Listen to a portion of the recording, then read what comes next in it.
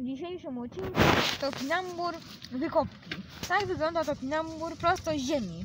Ma duże różowe bulwy, bo to akurat ta różowa odmiana. Tam jest więcej topinamburu. Takie duże bulwy i tu właśnie wykopujemy na kolejny przepis ciasto z topinamburem.